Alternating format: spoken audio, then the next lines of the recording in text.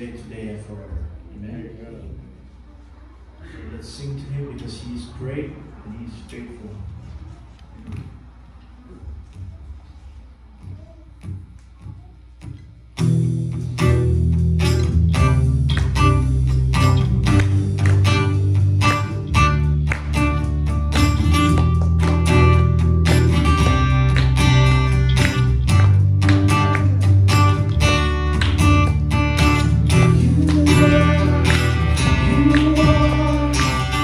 You